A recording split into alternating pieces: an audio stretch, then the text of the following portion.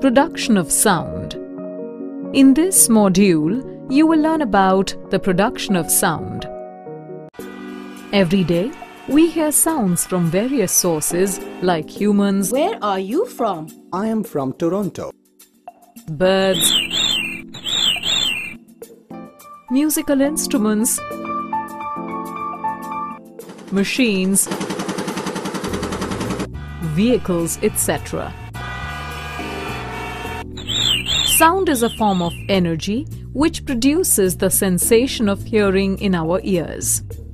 Do you know how sound is produced? Let us understand this with the help of an activity.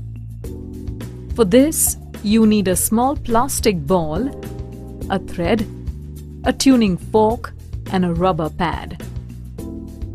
First, suspend the small plastic ball from a support with the help of the thread as shown. Next, take the tuning fork and strike its prong on the rubber pad. Now touch the ball gently with the prong of this tuning fork. What do you observe? The ball gets displaced from its position and you can hear a distinct sound. In this activity, we have produced the sound by striking the ball with a tuning fork.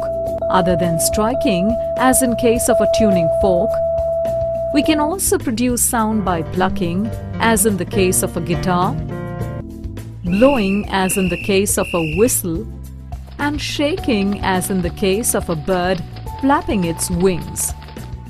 In all these examples, we are actually setting the objects into vibrations.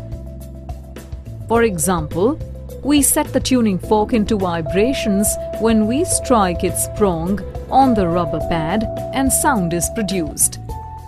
Similarly, when we pluck the strings of a guitar, we are actually setting the strings into vibrations and sound is produced. In the same way, when bees flap their wings, the wings actually vibrate, thereby producing a buzzing sound. Thus, sound is always produced by vibrations.